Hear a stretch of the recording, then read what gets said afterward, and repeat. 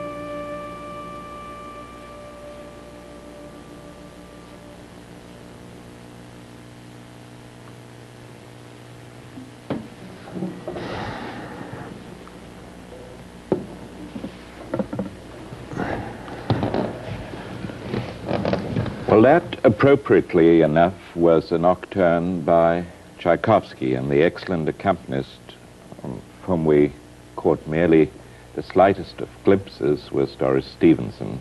Thank you, Doris. Nick, um, the whole thing about becoming a performer has to do uh, with genes, possibly with a musical family. You had both those, I take it, but maybe you should talk first of all about your teachers. Um, they were here. Your earliest teacher was who? Eleanor Schoenfeld, who teaches uh, in Pasadena, which is my hometown. And uh, I worked with her right from the beginning for seven years until I went to the Piatigorsky master class at USC. And uh, she taught me many wonderful things, not only uh, about actually playing the cello, but about the discipline of, of, of practicing and involving oneself with uh, dedication to, to goal. What about musicianship? What about a way of looking at music, style and so on? Where Well, did you get that from? Well, I began to get that with uh, Miss Schoenfeld, and uh, then uh, when I became a member of the Piatigorsky master class when I was When 13. was that? 13? Yes. It's very young. for- Well, he had heard me uh, uh, a year previously in the Coleman Chamber Music auditions, and he remembered me, and uh, I became his student, and uh, began to work with a new kind of concentration.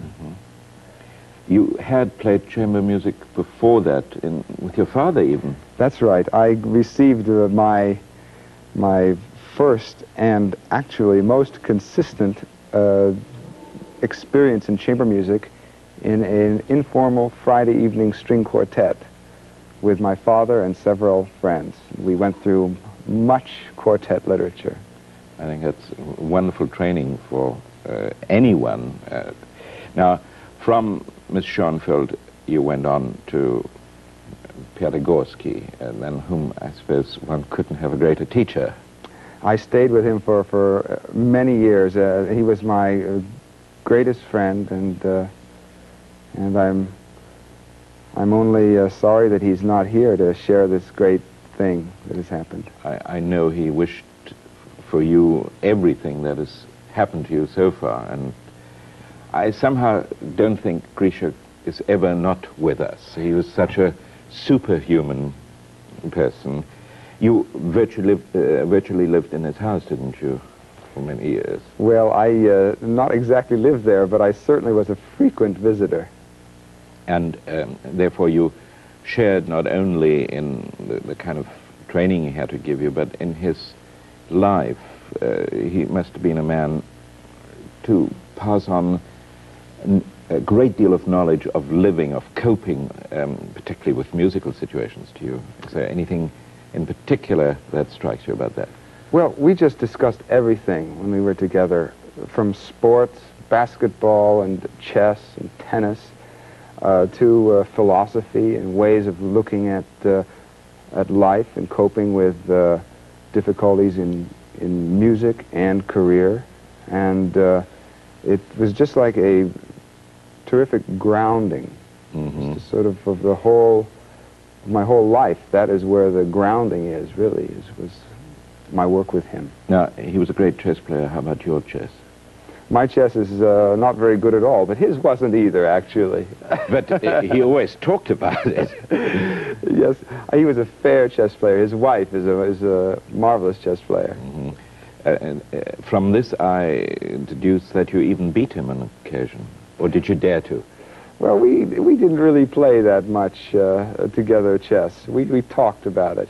Mhm. well, but that, that was part of the life's experience. Sure. And, and uh, you feel that also made you, uh, helped to make you into the kind of artist you are today. It, it's not just the technical aspects, not just the musical aspect. He always said uh, he would sometimes apologize in a way for talking a lot. But then he would say, I'm not wasting your time by doing this. All of these things are very important.